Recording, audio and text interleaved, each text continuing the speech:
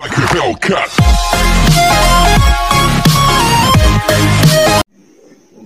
Then, search natin ang Face App.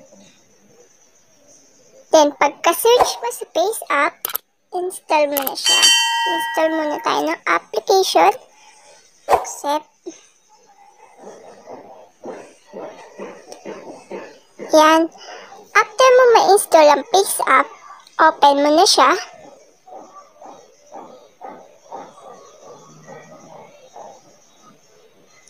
Yan, loading.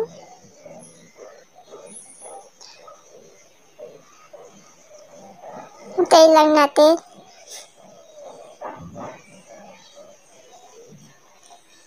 Yan. Pag na-install mo na siya, nakita mo na ito. Next lang. Next. Then continue.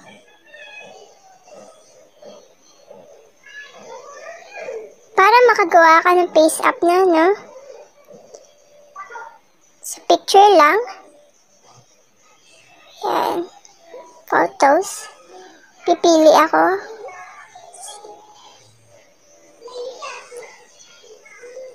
Yan. Sila isa. Para sila isa. Para maging lalaki siya, ang unang pupuntahan ay gender. Itong gender na to. Yan. Then, ikaw na pipili. Pipili ka kung ano itsura ng mga gi- magiging lalaki sila isa. Wari, ito male. Male? Yan. Magiging lalaki na si sila isa. Sa male 2, kung ano itsura, may bigote. Palbas na siya. Then, sa feminine. So, pili natin yung male 1. Yan. Pogi na sila isa. Then, apply. Yan. Makikita mo, nagbago na itsura nila isa, naging lalaki na siya. Then, save. Yan.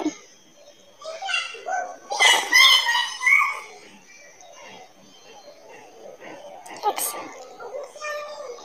Gawa pa tayo ng isa. Si Ibana. Ibana Alawi. Try natin si Ibana Alawi. Kung ano magiging itsura ni Ibana Alawi pag naging lalaki siya. Yan. Gender. Gender. Male. Then, sa male 2,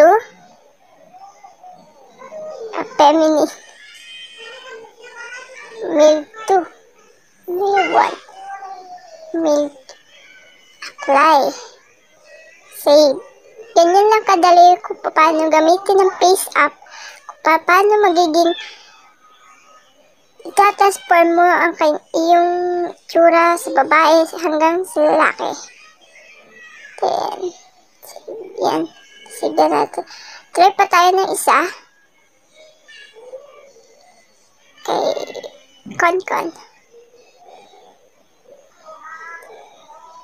Gender. Feminine. yan.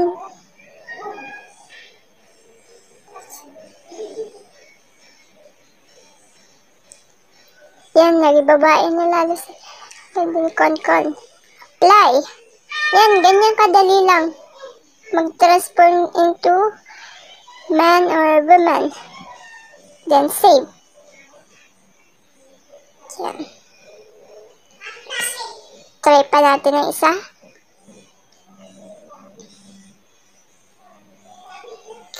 Okay.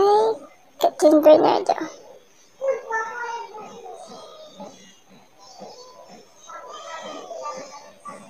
Gender. Male.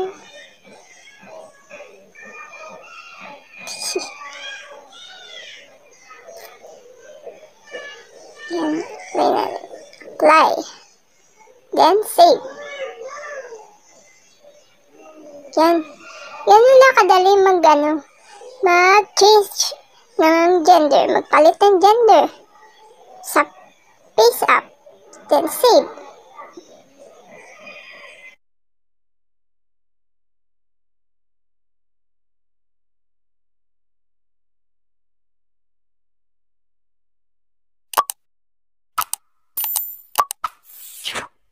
Hellcat.